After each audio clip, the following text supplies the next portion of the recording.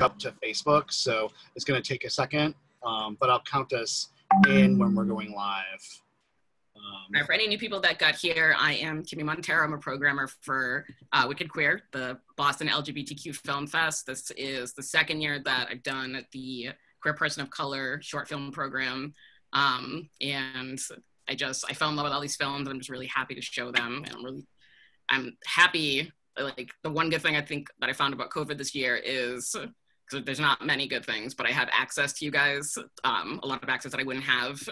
Um, so obviously everybody watching the film and all the people chiming in today.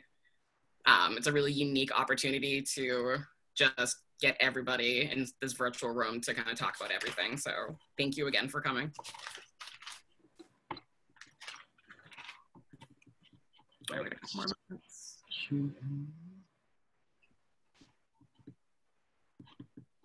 All right, I'm just setting up Facebook right now.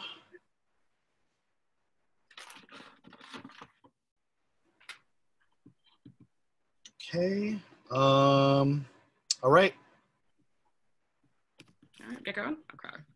Uh, we are now streaming. So Awesome. Okay, so guess we can get started. This is the Q&A for the Queer Person of Color short film program for 2020. My name is Kimmy Montero. I was the curator for this program, and I have some really wonderful guests to kind of talk about everything as far as that short film program, so we should get started. Um, so what I'd like to do first is I would love to kind of just go roundtable if everyone could introduce themselves and um, just let everybody know like a quick reminder of which film is theirs, a little bit about it.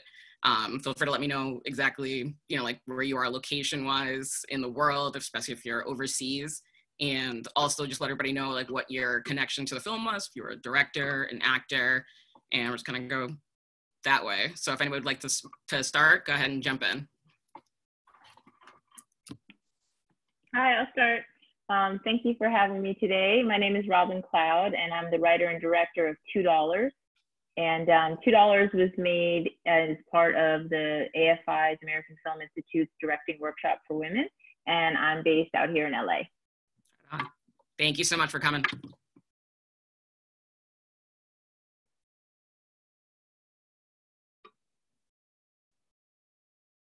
All right, anybody can jump in. Don't be shy. Uh, hi, I'm Max Lincoln, and I directed Pineapple, which was shot in London. Um, yeah. Thank you for joining us, Max. Hey, I'm Orianna Opice. I'm the director and producer of Go-Go Boy, and I'm in Chicago. Awesome. Thank you. Thank you. Hi, thank you for having me. Um, my name is Maxwell Addae. Uh, my short is Outdooring, and I am based in Los Angeles. I'm the writer director also. Just jack of all trades. Thank you.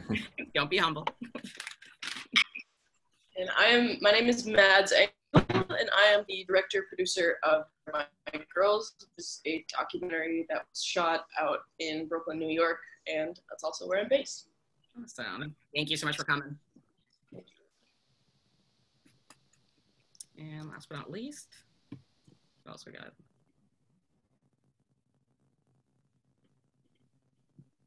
Can you guys hear me? Was that everybody?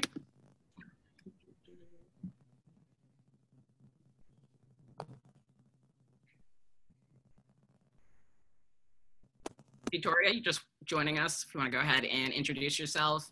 Um, which film you're in, um, what was your role to the film, if you want to just give a quick recap and let everybody know a little bit about the film. Sure. Hi, can you hear me? Yeah, I can hear. Okay. I have a problem with my computer.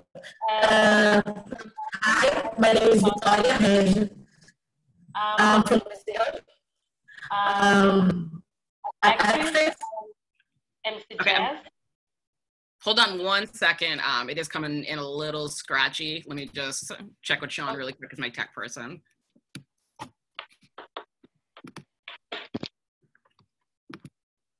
Okay, um, Sean is on it, so just give that a quick second. Um, all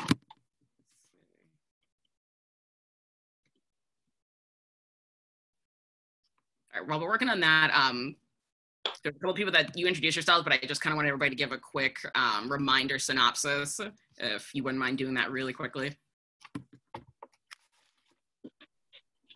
So let's see. Max, you did Pineapple. Just kind of want to remind everybody what film that was. Um, yeah. Yeah. Of course. So Pineapple's about an artist and her girlfriend, and one night they're kind of like a little bit drunk and high, and the girlfriend decides to paint her face with just some paints that are in the studio. Anyway, the following morning, the gallerist of the artist comes around, hates her latest work, but loves the girlfriend's face paint and offers her a place in the exhibition. And it's about how their relationship strains under the new dynamics between them. Awesome. I love that film. And for anybody that is not familiar with the really art scene in any city, it was funny because it's true. It was actually dead on. And I've been to enough like late night Bushwick art loft parties to know that. So that was spot on. Thank you. Um, just really quickly, Mads, um, can you just remind everybody what your film, like just kind of reintroduce yourself really quickly and just synopsis, reminder, everybody about your film? Definitely. Uh, so Where My Girls is a documentary. Um, it was shot mostly in 2018, partially in 2019. Um, but it's a documentary that follows three queer female rappers based in Brooklyn um, that are all independent underground, but have been making music and releasing music for between five and seven years. And um, the film just follows their careers and what they do for money outside of music and how they, what they do for work to um, support their independent music careers and how they sort of make a name and a space and a sound for themselves in, in the industry. Awesome. I really want to applaud you specifically for choosing um, three subjects that were like really completely different and unique from each other and really shining a spotlight on the diversity that is sorely lacking, especially in the hip hop community, specifically female hip hop community. So thank you. Else we got? Maxwell, you gave like a synopsis, right? Uh, I said the title, but I didn't really give a synopsis. Yeah, if you want to just do like a quick reminder. Um, okay. Uh, it's called Outdooring. It's about a young man attending his uh, nephew's uh, Ghanaian baby naming ceremony. And he's going there with a plan to steal the money that's been donated by his family so he can run away with his secret boyfriend. Um, I love that film. It's really, it's really nice to just kind of get a perspective, like a really um, an honest perspective of a community that not a lot of people are familiar with, and just kind of um, just kind of putting a story behind um, really, you know, when you have to kind of do something that's not like maybe fundamentally right, but um, there's always a story behind and a person behind every single decision you have to make, and it doesn't really define that person. Um, so thank you. That film was beautiful.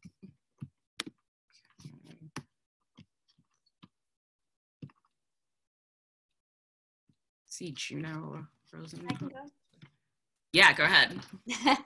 um, so Go Go Boy is about um, a little little guy, little little eight or nine year old boy um, growing up in the late 80s during the uh, WWF craze. And whereas all the little boys are crazy about these big, strong, macho men, he's a little bit more interested in their bodies. And when he's in his own room, he remembers that he had found a flyer with a different kind of muscular, oily man, an exotic dancer. And so he begins to dance in his room by himself and just enters this fantasy fugue where he can be, you know, his own fabulous self and sort of has the the seedlings of his um, his queer gay identity in his own bedroom. Um, and uh, yeah, kind of embraces it. Thank you. I fell in love with that film because specifically the WWF part of it, because I remember um, kind of being obsessed with that the way like my brother was obsessed with it and you know looking back in retrospect it was just kind of that idea of just being able to transport yourself into this like fantasy superhero world where like nobody can really hurt you from me. Um so that was probably one of the first things that made me fall in love with that film. So thank you. All right so and victoria you gave us synopsis right? Hi hello so can okay, you hear me now? Okay. Um, I can repeat what I said before. Yeah, so just um, yeah, introduce yourself, like the relationship you had to the film, um, and just a quick synopsis of what the film was about, and just to remind everybody. Okay. Hi, my name is Vitória Regis da Silva. I'm from Brazil. Um, I am a black uh, woman in Brazil. I'm very bisexual, how you guys can see here. Um, uh, I am one of the actors of the film Jess, who is a film about a young black lesbian woman who is dealing with uh, uh, issues like relationships, church, family, and who meet, uh, who encounter the poetry, especially slam poetry, in a way that we can, uh, she can tell her story. So it's a film about uh, this young black woman who lives uh, in a favela here in Brazil and who is dealing with these issues that lesbian black people dealing every day and who think that art can be a way to express yourself and express, express our stories. Thank you so much. Um, yeah, that film was um, a really nice spotlight on the like Afro Latina experience, especially from an LGBTQ standpoint. Um, and that was just another film, almost like where my girls was just giving like finding this hope in some sort of like creative or um, artistic outlet and just showing how beautiful and like freeing that really is. So thank you so much for being here today. Um, okay, so I think that's everybody. So I first just kind of want to ask some generalized questions just to the floor. So um, this is not for anybody in, like specifically, so feel free to um, just raise your hand or just chime in if you'd like to add something. So I think the obvious question is we are living in a kind of interesting time um, known as COVID. And, you know, as far as being a film festival, we thought it was really important to just figure out any way that we could not have to, like, we wouldn't have to skip a year because this film festival, were, you know, this is our 36th season and we were just really determined to, we'd already picked these films and we just didn't want, you know, like you guys not have an opportunity to tell your stories because that's exactly why we do this. So, know, as far as filmmakers and actors, I would love to hear about, you know, like how this pandemic has really changed, you know, like the entire world that you know of as like you know as being an artist or a filmmaker. So i would love to hear from anybody about that.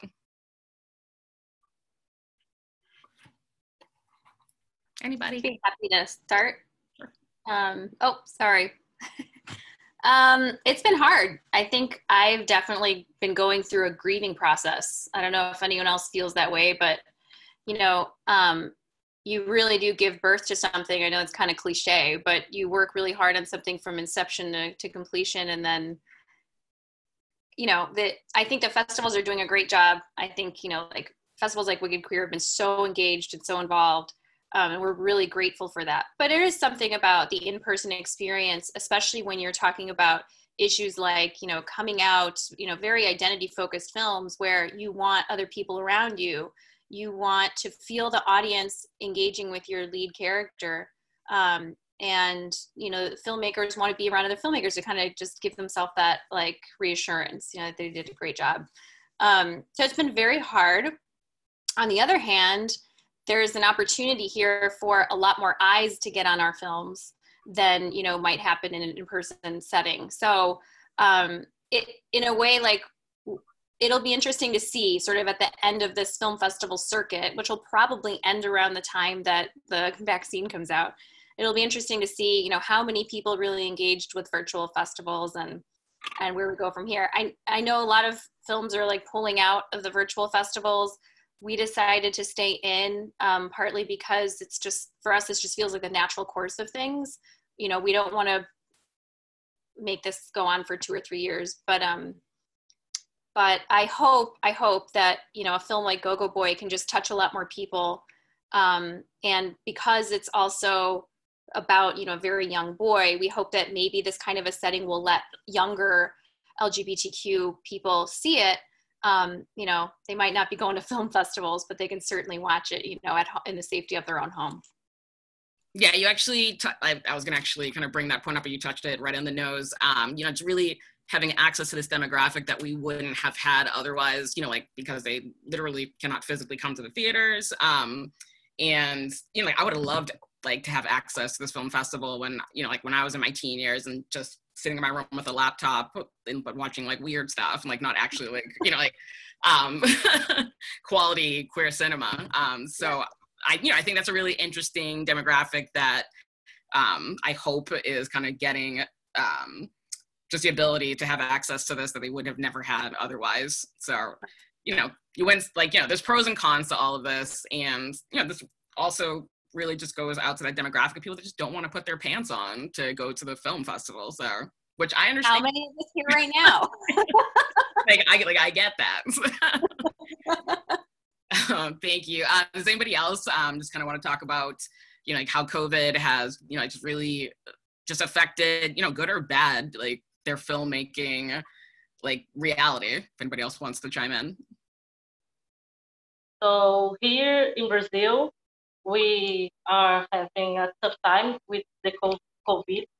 And in mc jess was the first my first experience with uh, acting. So after the film i was very interested in cinema so I, uh, I was going to school of cinema to become a director, a writer when COVID came. So I have to suspend my first film that I was making. So it's very sad in this yeah. way.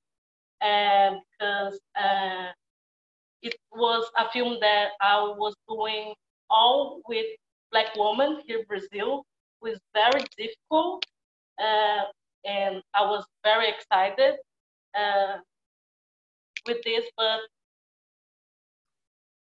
in in the situation, we don't have anything we can do, right? We have to stay home and suspend the uh, our work. So, in here in Brazil, we don't have much of uh, incentive in cinema, in arts, in culture. So it's a very difficult period to be uh, work in in this industry. Yeah, completely understandable. You know, I just I feel like like everybody else, I'm just trying to remind myself every day to not get frustrated with the situation because there's nothing we can do about it. And you know, like taking what we can with this all these circumstances and you know like just making the most out of it, which was really how this film festival didn't we didn't skip this year. We just tried to figure out a way to still get these stories told because they're important for everybody to see. Um, so thank you. Um, anybody else um, like to kind of discuss any new or, or good, bad experiences that we had like living in this pandemic or anybody else want to chime in? Yeah, if I if I may. Um yeah, it's been weird. There's been ups and downs, like I'm sure everyone's had, but um, yeah, it's been a good time to develop new work. So me and the writer of Pineapple have developed a feature script, which we wouldn't have had the time to have such long chats over Skype um, if we hadn't had the time. But yeah, talking about things like I also work as an art director, and I was on a commercial the other day, and it's just really strange just being on set in the COVID world. You know, you can't see anyone's faces constantly. You're like putting alcohol in your hands. It's just a, it's the same shit, but just a very different vibe.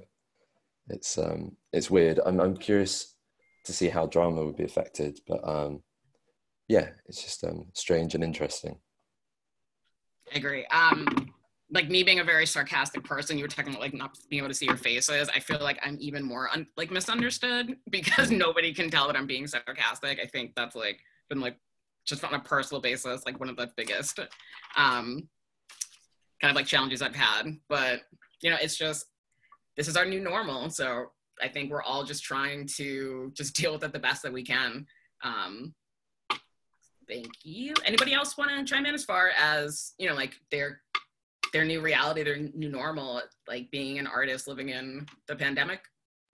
Yeah, I had uh, plans to shoot like a super low budget, no budget feature. It was like my plan for the year. And then as like the virus spread, I just got more and more sad. And I was just like, I don't think it's going to happen. So I think since then, I just recently realized how I've been all over the place trying to write something that I can put out because I'm not as interested as shooting uh, something right now until we can like be in spaces together. Yeah. Um, so I'm just, I think I'm, I'm writing a lot and uh, going back and, and focusing on things. I have a feature based off um, this short that I'm, I'm like really giving a lot of love to, um, which I, I'm appreciative of. And then just catching up with films um, as much as possible. So just trying to figure it out in the, in the, in the meantime. Have you, what's like the best you said you're catching up on films. Seen anything interesting, or? Yeah, I just watched uh, Burning, a film called Burning. Okay. Um, it's on Netflix now, um, and it was at Cannes, I think last year. Um, I thought it was really phenomenal, and it's like I like slow burn films um, as much as like crappy commercial films. And uh, this one was like a really rewarding slow burn film where like it's two and a half hours, but it delivers. So that was um, fun. I keep thinking about it. yeah. yeah. Awesome. Um, anybody else like to chime in as far as the the new reality with COVID? I think that was almost everybody. I guess I, I guess if I could say anything, um, this is real. I mean, this is a very just just personally for me. Um, I'm very new to the industry, so to speak. I haven't. Um, I made I made Where My Girls right after graduating college, right as I moved to New York City, and um, I've just slowly last two years been trying to get a foot in the door in the industry, and was kind of getting peeking a toe in um, right as the pandemic hit. But uh, I primarily I, prim- I prim- primarily work as an editor, and it was like the pandemic hit it was like this huge pause that I really needed to like recenter my work habits. As everyone was suddenly forced to work from home, I realized that's what I have been supposed to have been doing this whole time. But then I really realized like how much time and how much focus you really need to put into something, and um, also how much, in a way, it doesn't. How much time you need to make yourself sit down and actually work on something, but also how uh, having a stretch of time doesn't necessarily make you more productive because sometimes you can be a little less inspired if you're not out and about in the world. Um, so that that was just you know I don't have any like grand conclusions from it. It's all a process, but I don't know. It just gave me like a a good sense of perspective of really how much how much work this this industry is and how much you have to really like love what you're doing and yeah and to me i mean i feel like it's it, it seems worth it it made me i sort of like realize that it's it's worth it and it's worth pursuing so yeah. No it's a really interesting point like actually now that you were saying that now i'm kind of like wondering if you know like have you know like what kind of perspectives we're going to see like maybe like next year or the year after I'm like are we just going to see like a ton of films about like solitude and depression? Like is that's what like the world we're living in like that's like the art that like is kind of coming out of like our circumstances right now. Yeah, and, and I no think crowd some people definitely do Hmm? sorry Oh no, I was just. I- I think some people definitely do get inspired by a like sort of like forced solitude and time to reflect on things, um, and that's fine. But also, I don't know. I think it's at the very beginning of the pandemic. I saw so much stuff online of just like this is the time to finish your project, and kind of like a lot of pressure. A lot of people. I felt a lot of pressure to put on myself to like finish this, that, and the third. Like, but you know, it's it's the same as always. I kind of start a new lots of ideas thrown out there and i was like you know what that's that's the process no matter if i'm stuck inside or am I, if i'm out and about so um, no i'm not going to put pressure on myself to make the the trapped in the in the in the bedroom uh, short film or anything like that uh, max Which- did you say something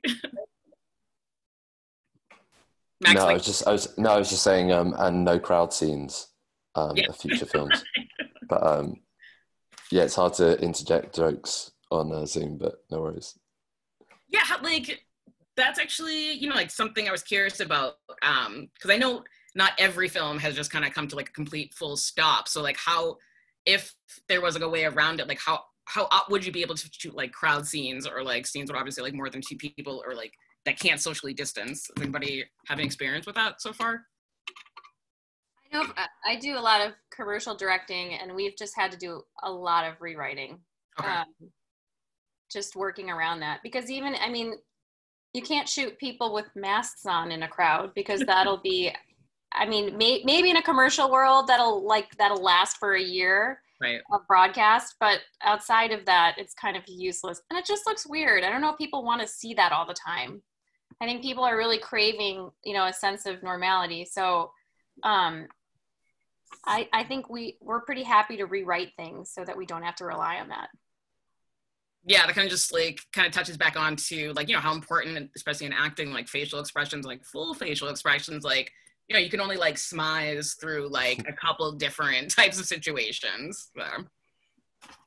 all right awesome um so you know just kind of opening the floor back up again with some more like generalized stuff so i think it's pretty hard to not notice you know like everything going on politically on top of like you know covid and just everything else happening, like the Black Lives Matter movement, that, you know, I think to anybody, you know, any person of color, anybody that's like slightly aware that, you know, like this, the George Floyd situation, you know, like that tragedy, like wasn't a wake up call. Like obviously this has been going on for a very, very long time, but with this perfect storm of, you know, like the pandemic and a lot of other things happening, the world kind of was forced to take notice, um, which, you know, be that as is made, like it's, I'm kind of glad that's happening, no, no matter how how like how we got here it we got here.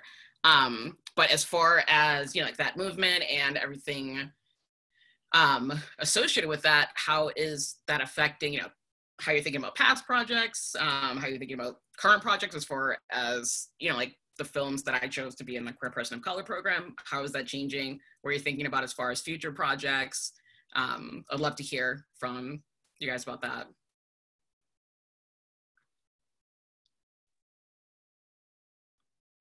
I'm happy to jump in. Um, so I'm the director of programming for Women in Film Chicago. And in our community, um, we've had a lot of questions of how to move forward as filmmakers and how to work, um, you know, diversity and inclusion, which as much as that's a general term, into the work that we do. Because as freelancers and as people that work with smaller production companies or even larger ones, you don't always have a diversity and inclusion department in your you know office building making sure that we're all like current and stuff. And so i think a lot of people are just you know uncomfortable and unsure how to have these conversations how to hire correctly how to bring the right people on board um, especially if you live in a very diverse area like so many of us do. Um, how to hire a crew and a cast and, and just a team that reflects the community that you're shooting in. And so um, I'm partnering with um, a diversity and inclusion consulting company to put together a workshop that will, you know, invite producers, directors, anybody that's kind of involved in that decision-making hiring process in the film and media community to come and, and really, you know, challenge ourselves and start asking uncomfortable questions guided by experts, of course, so that we're not just, you know, throwing spaghetti at the wall and seeing what sticks. Um, and I think that you know, like you said, it's a tragedy. Um, but it was, it was time. It was meant to be this way. And I think that in a sense, it's an opportunity for us um, as hopefully like op- open-minded artists to, to realize that there's more, there's more room at the table for everybody. Um, so uh, I, I, you know, I really hope that, that other organizations and other cities around the world are, are kind of questioning the same thing. How do we go forward in a very weird time on a positive note by including as many people as we can um, at that table. That's a thank you for bringing that point up. And um, yeah, I mean, if anything, I think this has made people that probably you know like haven't thought about it on a day to day basis or were kind of very like you know like passively non racist, kind of forcing them to be you know like actively non racist. So great. Um, and you know what are you going to do about it? So thank you for bringing that up. And you know, as far as like diversity inclusion, um, it kind of that kind of makes me want to kind of like focus on Robin Cloud. So you did two dollars, and one of the things I really noticed, you know, as far as really researching that film and you was I noticed that you had a very inclusive um, film crew as far as POC and my like women and just you know like you checked a lot of minority boxes, which I always appreciate. Um, so I would love to hear about, you know, like, is that something that's like necessary, important for you? How that shapes the way you know, like your films are portrayed? Um, is that, you know, I just I would love to hear more about that from Robin. Sure. Um, yeah, that's just an approach to how I work. I try to replicate my life and the my world.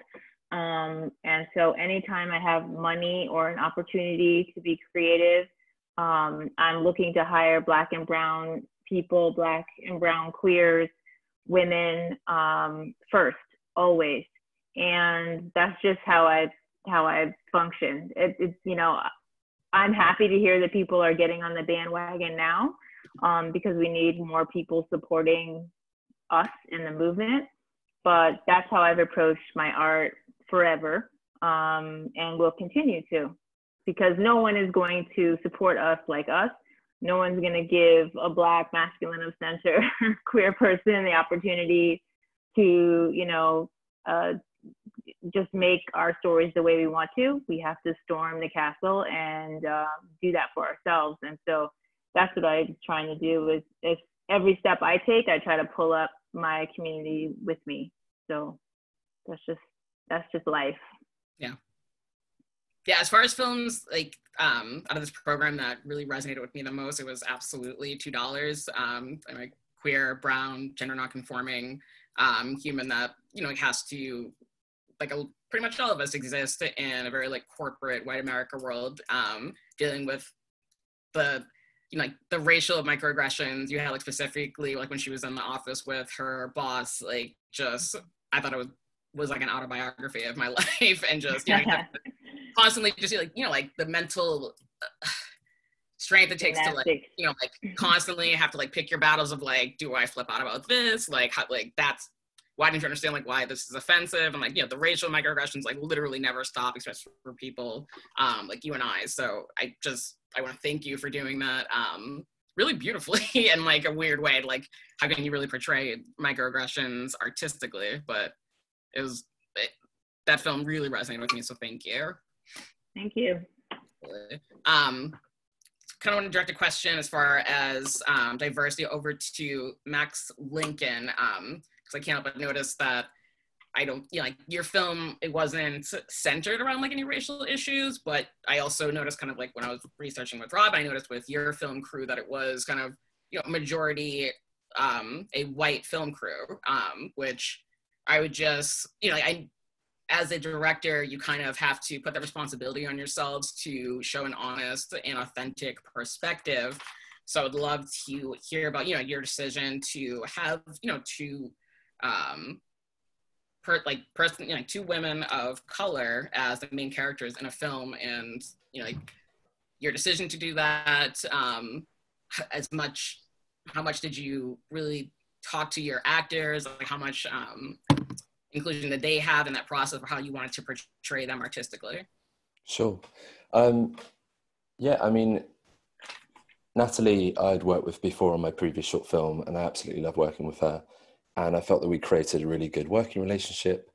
And her uh, her partner, I kind of, you know, I was just open to whomever really. There wasn't kind of a, a direct plan as the script was being developed, and I saw this. Um, I guess it's a poem called "I'm a Woman," and it was various different women saying "I'm a woman." And for a split second, I saw Cherelle, and I just thought she was fantastic, and yeah, I just researched her and watched everything I could find on her and went for a coffee and it just went quite naturally that way.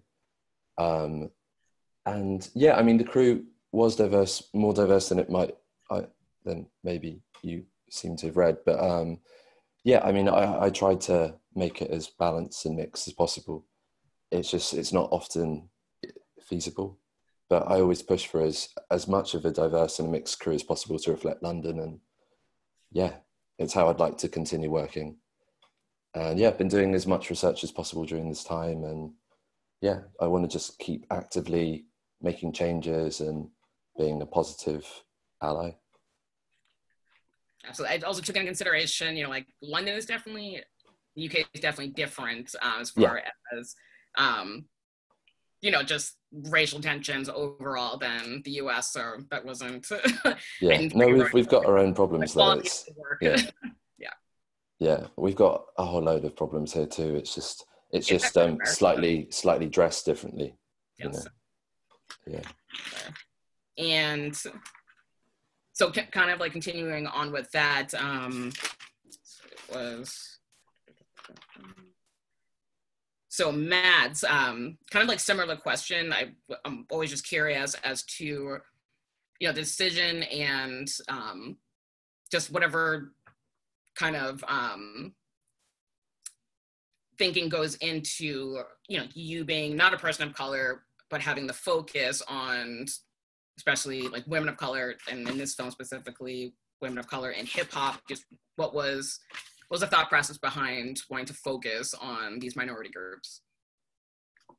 Yeah. Um. So I so I was gonna say earlier, like with everything that's been um. So it's been it's been about two years since, a little over two years since like the inception of the film as a just from the initial pre-production and reaching out to artists to participate. Um, and the film, I actually that whole process started because as I was a senior in college, there was a um, the college I went to announced that there'd be a new documentary grant um, offered that year to film, film to, or to fund documentaries, and it was open to people who were about to graduate. Um, and so, you know, I thought I thought it might be an interesting opportunity, even though initially documentary wasn't sort of like I'm more of a writer than a documentarian, but um, uh, I was actually a history major in college, and um, I was a history major in college, and I had been studying. I had been writing my thesis on.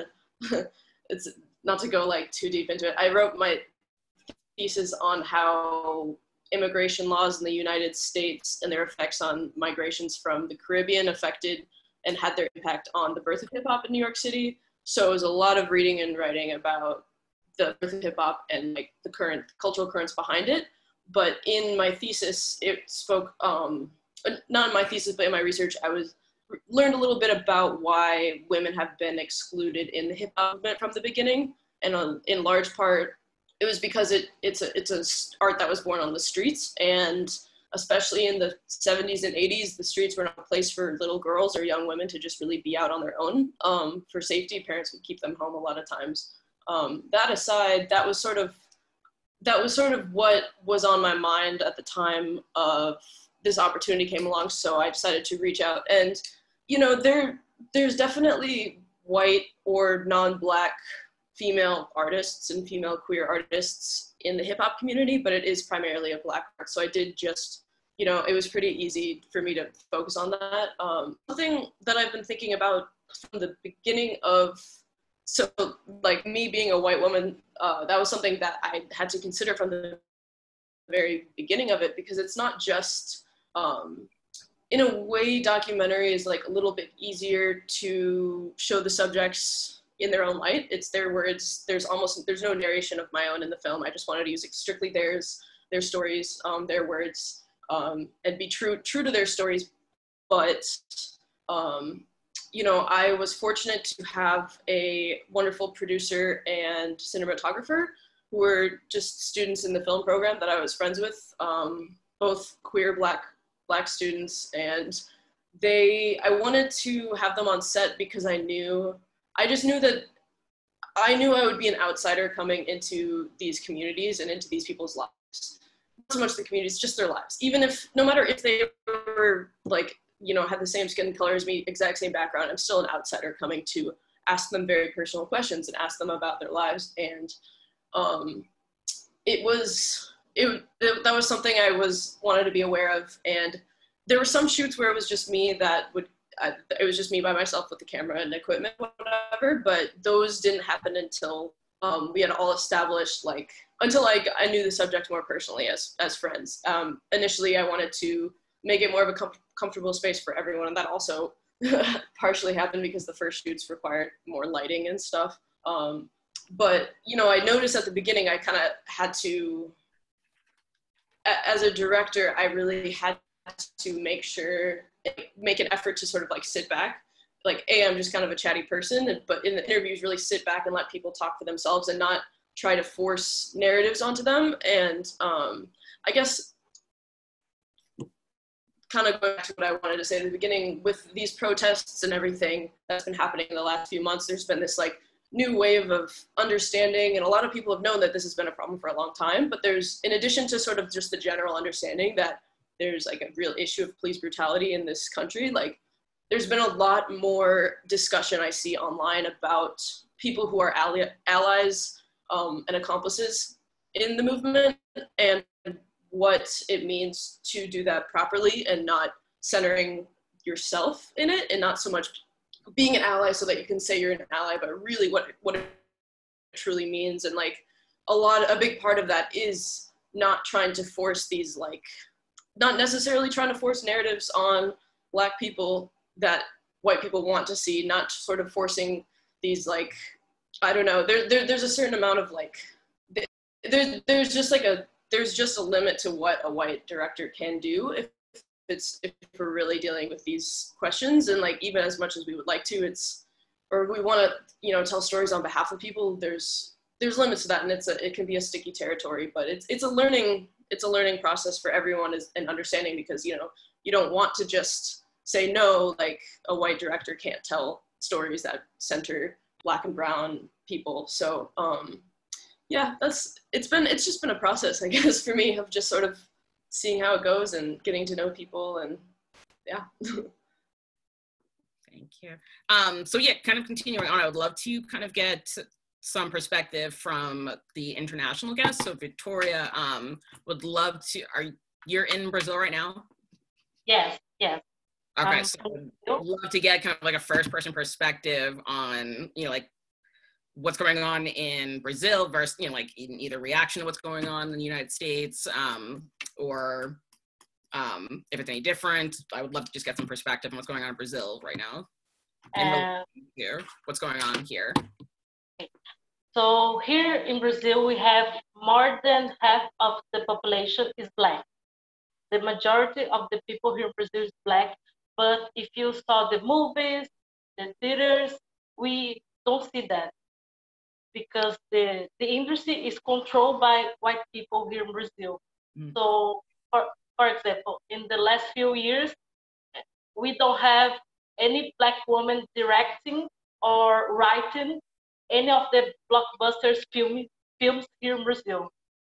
So it's a, it's a very uh, difficult conversation uh, here about race because we are majority, but we have uh, several problems. Here in Brazil, the movement, uh, similar to the Black Lives Matter, is very important, very active. Uh, here in Brazil, um, one young black uh, uh, I'm sorry.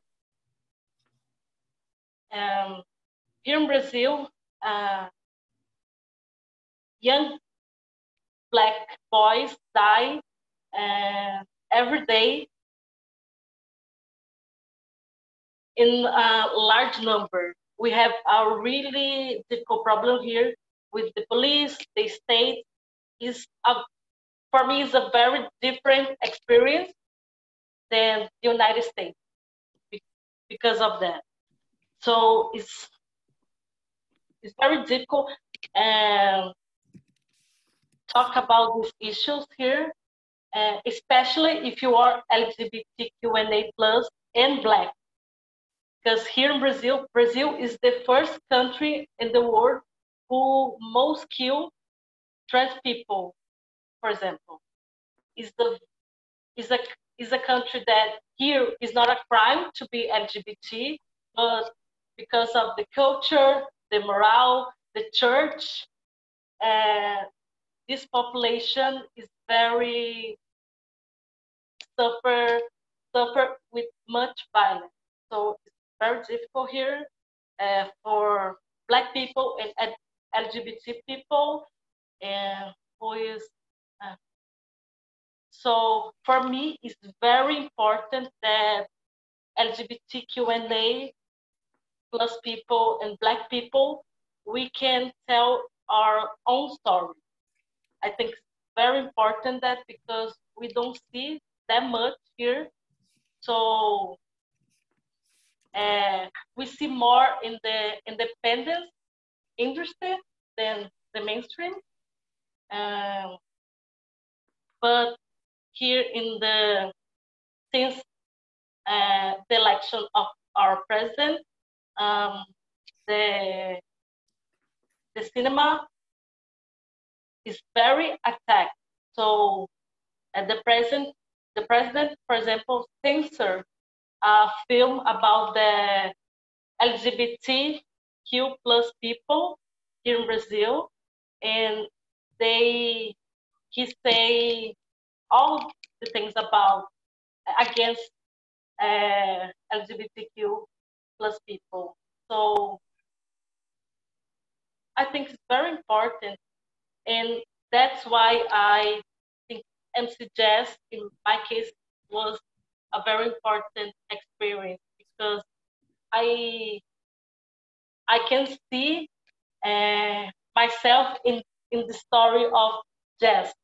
You know, I'm not a lesbian black woman. I'm sexual, so we we have a difference, but the story is very similar, and I, I would like to be a part of this movement of black black creators that we don't be no longer only the object of the film, but the creator of the film. That we can be uh, control the camera, writing. So that's why it's very important to me to be close to other Black creators so we can be a movement that we empower, that, that we're creating a new cinema here in Brazil. Uh, we have here in Brazil a discussion about, how the movies made by Black people is the Black cinema. Uh, here we have the discussion because I agree that we have a very specific, specific view, but in a country that we have, we are more than half the, the population, I think that what we do is Brazilian cinema too. So for me, it's very important to talk about that and and and incentive more black creators to join us to make a cinema that includes us in uh, in the screen, but creating, writing, producing too. Thank you. Sorry for my English, guys. no, no, no. It's it's really good. Trust me. Um, um, so that kind of makes me want to kick it over to um, Maxwell, who did outdooring, because you kind of gave us. A, you're a first generation um, Ghanaian, um, correct? Yes. Okay, fantastic. And that was obviously the very central theme in your film, and not only were you giving us really insight to um, the you know beautiful culture and traditions, but you did also shine spotlight on the homophobia within that community. Um, so you know, I'd love to hear more about you know your thought process into kind of want to making that into a film, and you know, like in personal experiences, um, and any you know like any sort of connections you have with the Ghanaian experience and what's going on in the West right now. I'd love to hear a little bit more about that. Yeah. Uh, so the film is uh, fiction. I did try to write emotionally from a very personal perspective. Uh, so I want, I knew I wanted a character that was trying to come out to the, to his family and just did not have the right tools um, or examples as to how to do that. Uh, so he's just kind of going by pure emotion uh, without taking time to consider any context. And I think the character feels justified. Um, but I didn't want to write my own actual experience. My feeling was that if I'm presenting characters that are supposed to be my mother or my father or, or actual siblings, then I will be making sure that they are seen in the right light because I love them. So I'm going to want to make sure they're portrayed in a full, rich way that is also me taking care of them, that is separate from writing a story about these characters. So I wanted to have, I wanted to change it up as much as possible so it didn't feel like my life, even though because they're Ghanaian, it's going to feel like my life. But the characters, everything else, um, as made up as possible. Um, so I, I used the um, the genre of a heist as kind of my, my conduit through the film. And that kind of gave me um, goalposts to look towards as I'm trying to build the story. So going back to watch it, it feels like I'm reading my diary emotionally, plot wise, character wise. It doesn't feel like anything that's that's close to my experience, um, and I really appreciated uh, that approach to telling it, and it's something I, I want to keep doing. I think it allows me to create the characters more honestly for themselves, for the story.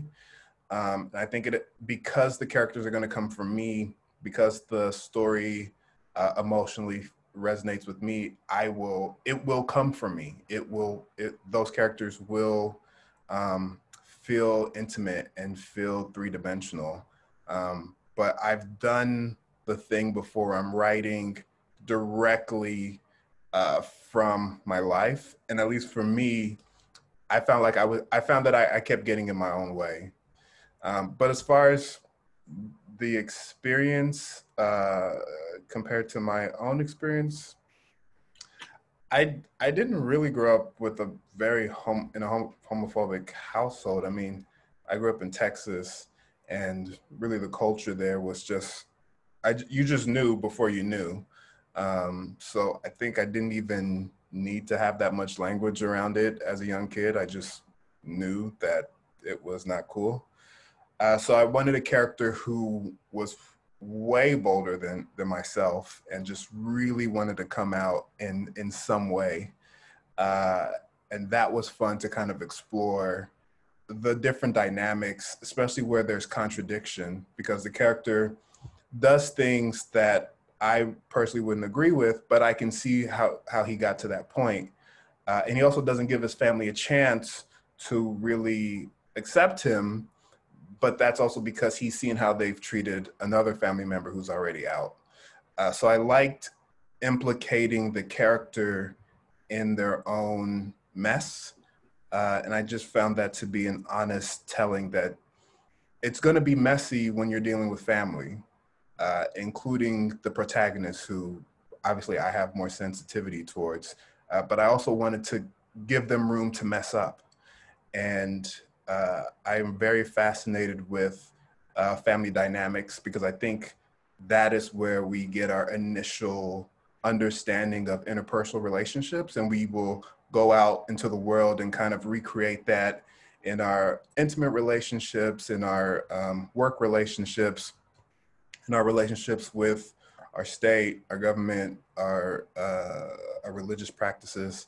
Um, so I, I really like the, the family dynamic, no matter what it looks like, feels like the starting ground. So I'm always going back there to like pick and dissect and push and challenge um, and understand that it's, it's messy and it's hard and it's not going to be easy. And sometimes there's not not even sometimes there's usually not a end destination it's just can we be in the process of being with each other uh, my personal interest is with black folks uh, and just seeing what that can look like and what possibilities are opened up uh, when we you know approach each other with with courage and compassion and and all the things that we're all discussing at the moment so i think i hope that answered the question no, it absolutely didn't. I just wanted to make sure that I know that was a work of fiction. I wasn't trying to say that homophobia was conducive of anything. Um, yeah.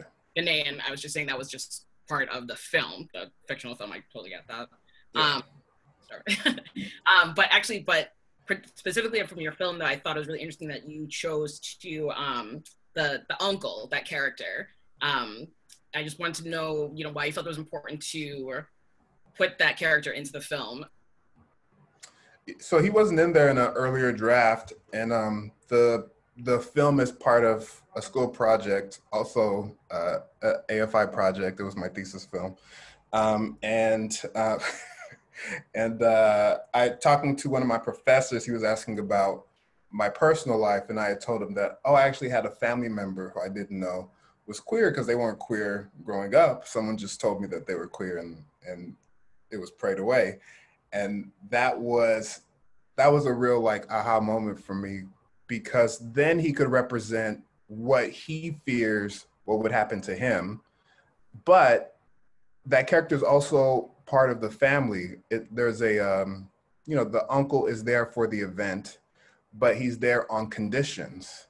So the family will you know partially accept him if he keeps things quiet and that's not good enough for the protagonist. And i really liked um, not being very clear and clean um, as far as you know they're homophobic they hate gays like no it's it's you know family will find ways to massage you in in a way that feels comfortable for them and usually if you are the only person that is asking to be held holy uh, uh, you can feel like those you'll you'll accept those conditions because you want to be part of your community um, so I wanted a protagonist who was coming there to kind of blow shit up and say, well, I'm I'm not going to participate in that way.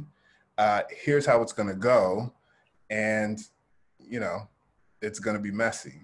But I think everyone will come out on the other side with, if not respect, a different understanding, and and hopefully that starts to get the ball rolling to deeper, more honest conversations. Um, so that that character was really kind of an homage to a, a family member who never got to really be. Thank you.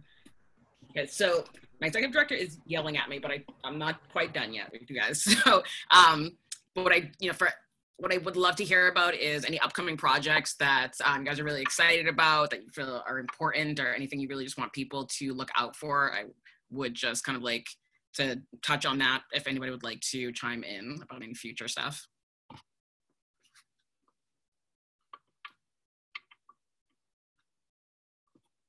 Nobody, nobody has any ideas. I understand it's COVID, but I don't mind going. Uh, so I have a feature based off the short um, that I've been working on for right. for quite a while, and then I have uh, a TV pilot that was fun to write, but the feature based off of outdooring, right? Correct. Okay. Yeah, and then I have a TV pilot that was fun to write, but feels very expensive. So I'll just put that in things and see what happens. Um, and yeah, those are like the immediate ones.